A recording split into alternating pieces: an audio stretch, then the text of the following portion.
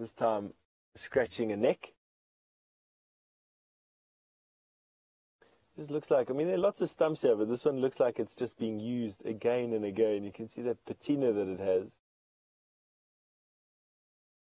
In these hard to reach places. No, that's not going to work. Scratching his leg. Yeah, armpit. now the, the, belly rub. Yeah, there we go. Scratching the armpit. Almost looks like it's having fun, eh? Ears back in pleasure. There we go. Belly now. and the zebra in the distance, it's using the hook to scratch on its head. uh, there we go, and on the bum.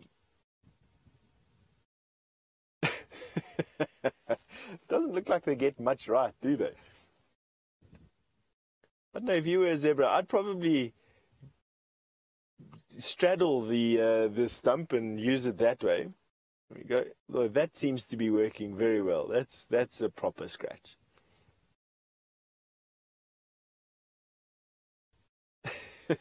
very awesome. Now this one scratching its belly. That's at the right height for a belly rub. I don't think it does much else. Getting under the tail.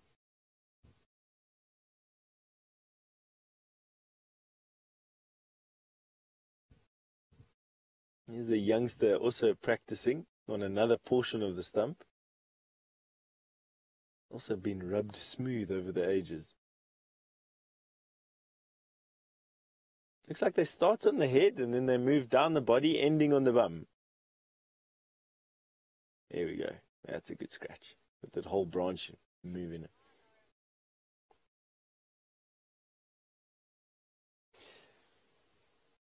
Kirsty, could you please repeat the name? Sorry, I didn't quite get that.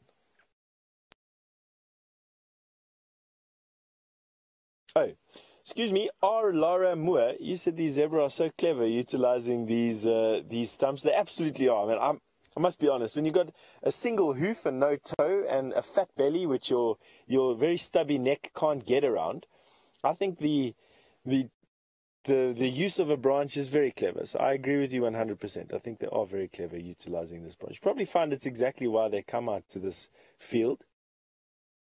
Is that there is such a variety of rubbing posts around. Look at this little one.